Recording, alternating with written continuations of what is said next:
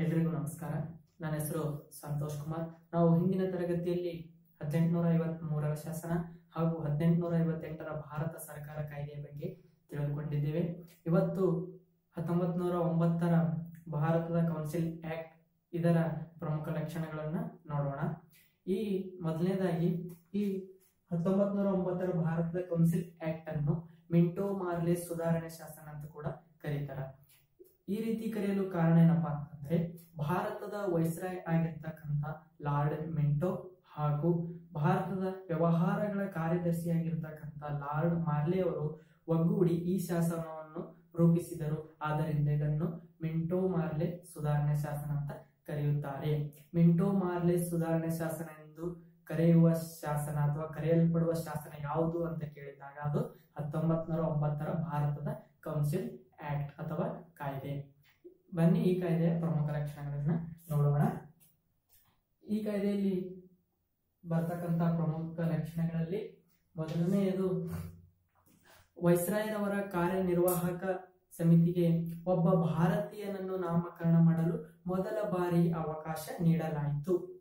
ಹದಿನೇಳುನೂರ ಎಪ್ಪತ್ತ್ ಮೂರರ ರೆಗ್ಯುಲೇಟಿಂಗ್ ಕಾಯ್ದೆಯಲ್ಲಿ ಬಂಗಾಳದ ಗವರ್ನರ್ ಅನ್ನು ಬಂಗಾಳದ ಗವರ್ನರ್ ಜನರಲ್ ನಾಗಿ ಮಾಡಲಾಯಿತು. ಮುಂದೆ ಹದಿನೆಂಟುನೂರ ಮೂವತ್ತ್ ಮೂರರ ಚಾರ್ಟರ್ ಕಾಯ್ದೆಯಲ್ಲಿ ಬಂಗಾಳದ ಗವರ್ನರ್ ಜನರಲ್ ಅನ್ನು ಭಾರತದ ಗವರ್ನರ್ ಜನರಲ್ ಅನ್ನಾಗಿ ಮಾಡಲಾಯಿತು. ಮತ್ತೆ ಹದಿನೆಂಟುನೂರ ಐವತ್ತೆಂಟರ ಭಾರತದ ಸರ್ಕಾರದ ಕಾಯ್ದೆ ಅಥವಾ ರಾಣಿಯ ಘೋಷಣಾ ಪತ್ರ ಅಂತ ಕರಿತೀವಲ್ಲ, ಅಲ್ಲಿ ಏನು ಮಾಡಲಾಯ್ತಪ್ಪ ಅಂತಂದ್ರೆ ಭಾರತದ ಗವರ್ನರ್ ಜನರಲ್ ಅನ್ನು ಭಾರತದ ವೈಸ್ರ ಎಂದು ಮರುನಾಮಕರಣ ಮಾಡಲಾಯಿತು. ಹೀಗೆ ಬಂಗಾಳದ ಗವರ್ನರ್ ಹಿಡಿದುಕೊಂಡು ಭಾರತದ ವೈಸ್ರಾಯ್ ತನಕ ಈ ಕಾರ್ಯ ಸಮಿತಿಯಲ್ಲಿ ಸದಸ್ಯರು ಕೇವಲ ಬ್ರಿಟಿಷರು ಮಾತ್ರ ತುಂಬಿದ್ದರು. ಆದರೆ ಹತ್ತೊಂಬತ್ ನೂರ ಒಂಬತ್ತರ ಭಾರತದ ಕೌನ್ಸಿಲ್ ಆಕ್ಟ್ ಅಥವಾ ಮೆಂಟೋ ಮಾರ್ಲೆ ಸುಧಾರಣೆ ಶಾತದ ಶಾಸನದ ಅನ್ವಯ ಇಲ್ಲೇನ್ ಮಾಡಲಾಯಿತು? ವೈಸ್ರಾಯರ್ ಅವರ ಕಾರ್ಯನಿರ್ವಾಹಕ ಸಮಿತಿಗೆ ಒಬ್ಬ ಭಾರತೀಯನನ್ನು ನಾಮಕರಣ ಮಾಡಲು ಪ್ರಥಮ ಬಾರಿಗೆ ಅವಕಾಶ ನೀಡಲಾಯಿತು. ಪರಿಣಾಮವಾಗಿ ಸತ್ಯೇಂದ್ರ ಪ್ರಸಾದ್ ಸಿನ್ಹಾರ್ ಅವರು ವೈಸ್ರಾಯರ್ ಅವರ ಕಾರ್ಯನಿರ್ವಾಹಕ ಸಮಿತಿಗೆ ಸದಸ್ಯರಾಗಿ ನಾಮಕರಣಗೊಂಡ ಮೊದಲ ಭಾರತೀಯರಾಗಿದ್ದಾರೆ. ಇವರನ್ನು ಕಾನೂನು ಸದಸ್ಯರನ್ನಾಗಿ ನೇಮಿಸಲಾಯಿತು. ಎರಡನೆಯದು, ಕೇಂದ್ರ ಶಾಸನ ಸಭೆ ಹಾಗೂ ಪ್ರಾಂತೀಯ ಶಾಸನ ಸಭೆಗಳ ಸದಸ್ಯರ ಸಂಖ್ಯೆ ಹೆಚ್ಚಿಸಲಾಯಿತು.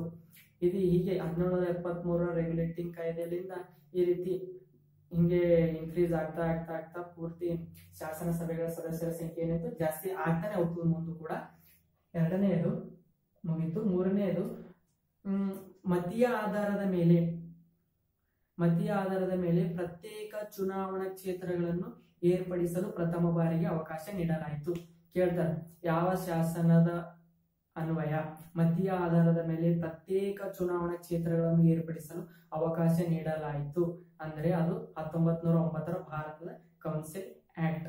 Separate electorate on the basis of caste ಇದರಿಂದ ಏನಾಯ್ತಪ್ಪ ಅಂತಂದ್ರೆ ಮುಸ್ಲಿಮರಿಗೆ ಏನಾಯ್ತು ಕೋಮು ಪ್ರಾತಿನಿಧ್ಯ ಪದ್ಧತಿಯನ್ನು ಜಾರಿಗೆ ತರಲಾಯಿತು. ಯಾರಿಗೆ? ಮುಸ್ಲಿಮರಿಗೆ. ಇದರಿಂದ ಕೋಮು ಪ್ರಾತಿನಿಧ್ಯ ಪದ್ಧತಿ ಅಂದ್ರೆ ಏನಪ್ಪಾ ಅಂತಂದ್ರೆ, ಈ ಪದ್ಧತಿಯಿಂದ ಮುಸ್ಲಿಂ ಪ್ರತಿನಿಧಿಗಳು ಅಂದ್ರೆ ಎಲೆಕ್ಷನ್ ಯಾರು ನಿಂತಿರ್ತಾರಲ್ಲ ಅವರು ಕೇವಲ ಮುಸ್ಲಿಂ ಮತದಾರರಿಂದಲೇ ಮಾತ್ರ ಚುನಾಯಿಸಲ್ಪಡಬೇಕು.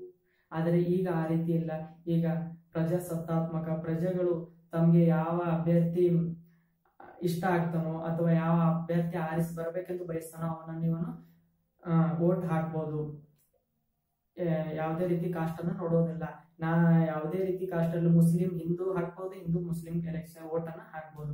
ಆದರೆ ಈ ಹತ್ತೊಂಬತ್ ನೂರ ಒಂಬತ್ತರ ಭಾರತ ಕೌನ್ಸಿಲ್ ಆಕ್ಟ್ ಈ ಕಾಲಾವಧಿಯಲ್ಲಿ ಏನಿತ್ತಪ್ಪ ಅಂತಂದ್ರೆ ಕೇವಲ ಮತೀಯ ಆಧಾರದ ಮೇಲೆ ಮಾತ್ರ ವೋಟನ್ನು ಮಾಡಬೇಕಾಗಿತ್ತು. ಹೀಗೆ ಮುಸ್ಲಿಮರಿಗೆ ಪ್ರತ್ಯೇಕ ಕೋಮು ಪ್ರಾತಿನಿಧ್ಯ ಪದ್ಧತಿಯನ್ನು ಜಾರಿಗೆ ತಂದರು. ಇದರಿಂದ ಮುಸ್ಲಿಂ ಪ್ರತಿನಿಧಿಗಳು ಮುಸ್ಲಿಂ ಮತದಾರರಿಂದ ಮಾತ್ರ ಚುನಾಯಿಸಲ್ಪಡಬೇಕು. ಆದ್ದರಿಂದ ಇವರನ್ನು ಯಾರು?